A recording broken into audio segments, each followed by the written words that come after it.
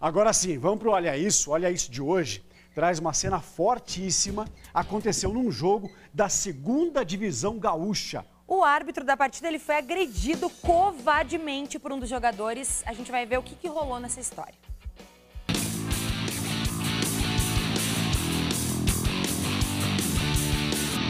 O árbitro é agredido, cai e fica no chão, desmaiado. Os jogadores começam a chamar o atendimento médico desesperadamente. O jogador é William Ribeiro, do São Paulo, da segunda divisão gaúcha.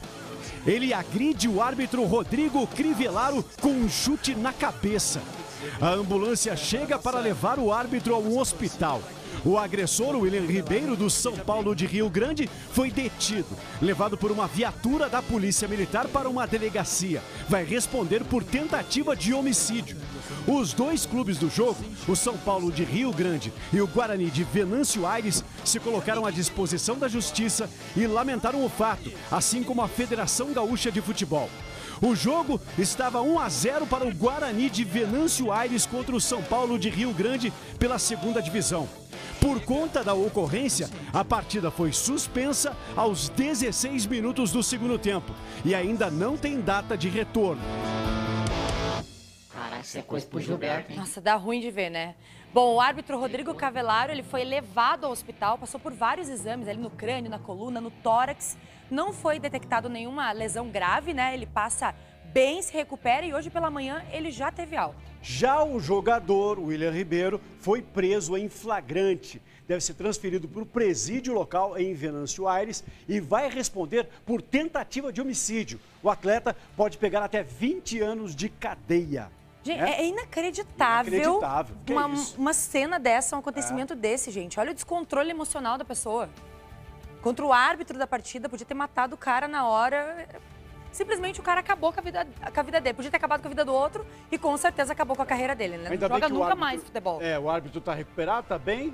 Ele É. chegou ontem à noite lá totalmente zureta, falando coisa com coisa.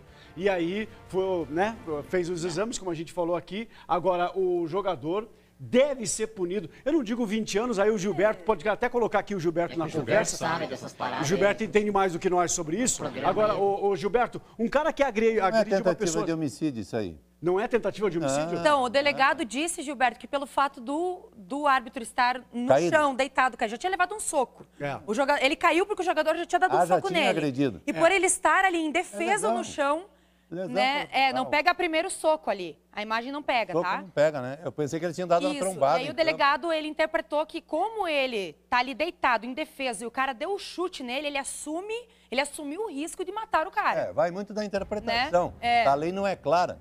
É, depois, Tem muitas brechas, né? Um promotor depois, não, isso aí não se cara. O advogado de defesa, é, vamos ver na sequência como, de que forma ele será denunciado pelo Ministério Público à Justiça, né? O Mas delegado interpreta dessa forma, mas lá na É. frente, de repente, É, há uma outra é, interpretação jurídica, né? É, a lei né? não é clara em relação. É, de qualquer forma, independente do que acontecer, é lamentável, né, gente? Não tem É, muita coisa eu a pensei dizer, que né? havia sido uma trombada. Os caras tá... Não, ele, ele dá o soco e depois chuta. É. né? Então eles já haviam. É, É, foi exatamente. uma trombada, costela trombou com o pé do cara.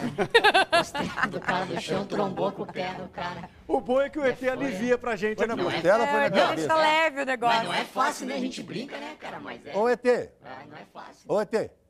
E esses teus primos que estão me incomodando aí de madrugada, cara? Ih, Eu tô te falando, você, acredita no Gilbertão, conhece eu há Acredito, quase 50 acredito, anos. Acredito.